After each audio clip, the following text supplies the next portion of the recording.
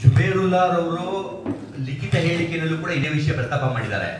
ಜುಬೇರುಲ್ಲಾರ್ ಅವರು ಲಿಖಿತ ಹೇಳಿಕೆಯಲ್ಲಿ ಪ್ರಸ್ತಾವನೆ ಮಾಡಿರೋ ಕಾಪಿನೂ ಕೂಡ ಮಾನ್ಯ ಡಿ ಸಿ ಅವರು ಕಳಿಸ್ಕೊಟ್ಟಿದ್ದೀವಿ ಹಾಗಾಗಿ ಅವ್ರು ಹೇಳಿದ್ದಾರೆ. ಅವ್ರು ಹೇಳಿರೋದನ್ನು ಕೂಡ ಕಳಿಸ್ಕೊಟ್ಟಿದ್ದೀವಿ. ಅವ್ರ ಮೇಲೆ ಯಾವುದೇ ತರಹದ ಶಿಸ್ತು ಕ್ರಮ ತೆಗೆದುಕೊಳ್ಳೋದಕ್ಕೆ ನೇರವಾಗಿ ನಾವು ಒಟ್ಟು ಕೋರ್ ಮಾಡಿಲ್ಲ.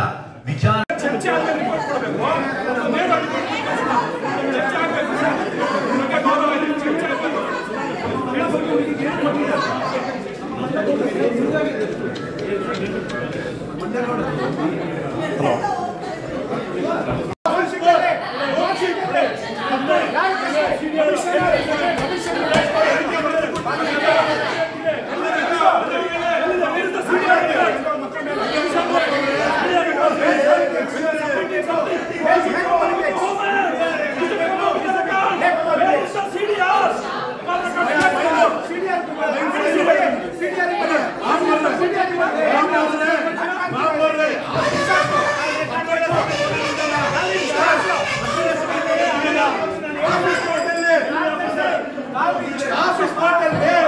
ಸರ್, ಆಮೇಲೆ ಆಡಳಿತ ಪಕ್ಷದ ಮೇಯರ್ಗೆ ನಾವು ಹೋಗ್ಬೇಕು ಅಂತ ಕಿವಿ ಮಾತು ಹೇಳಿ ಇಂಥ ತಪ್ಪುಗಳು ಮಾಡಬೇಡ ಇಂಥ ತಪ್ಪುಗಳು ಮಾಡಬೇಡ. ಕಿವಿ ಮಾತು ಹೇಳಿ ಸರ್ ಏನಂತಂದ್ರೆ ನೀವು ಮಾಡಿರೋ ತಪ್ಪಿಗೆ ಇವತ್ತು ಬಿ- ಎಂತ ಬಿಜೆಪಿ ಬೈತಾ ಇದ್ದಾರೆ ನಮ್ಮ ಪಕ್ಷ ಬೈತಾ ಇದ್ದಾರೆ ನಮಗೆ ಬೈತಾ ಇದ್ದಾರೆ ಅಂತ ಹೇಳ್ಬೇಕು. ಸರ್ ಆರು ತಿಂಗಳಾಯ್ತು ಈ ವರದಿ ಕೊಟ್ಟು ಇವತ್ತಿನ ತನಕ ಅದೆಲ್ಲ ಟೇಬಲ್ ಮಾಡಿ. ಇದೇ ವಿಷಯದ ಸರ್. ಆಮೇಲೆ ಅವರು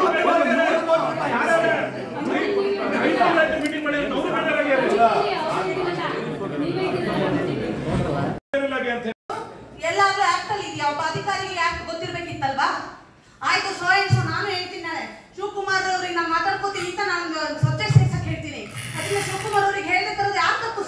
ಆಡಳಿತ ಪಕ್ಷದ ನಾಯಕರು ನೇರವಾಗಿ ಮೇಲವ್ರ ಮೇಲೆ